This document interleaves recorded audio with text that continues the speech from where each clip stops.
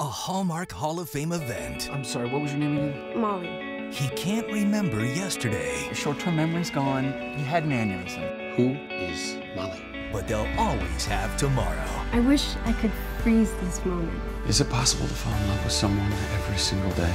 Alexis Bledel, Zachary Levi. All I'll ever have is today. Not if you have me. Remember Sunday on Hallmark Channel, the heart of TV.